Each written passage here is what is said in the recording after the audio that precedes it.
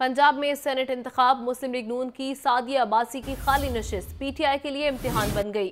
P T I کی گیارہ خواتین نے ٹکٹ کے لیے درخواست دے دی ہے۔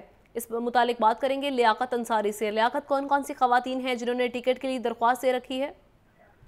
جی آمنا ایک انار دو بیمار کے مشکلات کی صورتحال سامنے آئی ہے۔ پنجاب میں سینٹ کی ایک نشست خالی ہوئی ہے، خاتون کی۔ تو اس پر تحریک انصاف کی گیارہ خواتین جو ہیں، میدان میں آ گئی ہیں، جن میں فردوس، عاشق اوان نرگس، جبین نتا رحمان، رخسانہ بھٹی نے ٹکٹ کے لیے درخواست دے دی ہے۔ سیما انوار آسما بدن، نورین فاروقی اور ارم بخاری بھی ٹکٹ کے لیے میدان میں آ گئی ہیں، جبکہ ڈاکٹر سرکار سارا احمد اور سینی ایس بی جو ہے انہوں نے بھی ٹکٹ کی خواہش ظاہر کر دی ہے۔ اس حوالے سے جو ہے کافی تحریک صاحب کی قیادت کے لیے مشکل فیصلہ امتحان ہے کہ ان گیارہ خواتین کو کس طرح مطمئن کر کے کسی ایک کے لیے ٹکٹ کا اعلان کیا جاتا ہے؟ جی۔ شکریہ لیاقت انصاری۔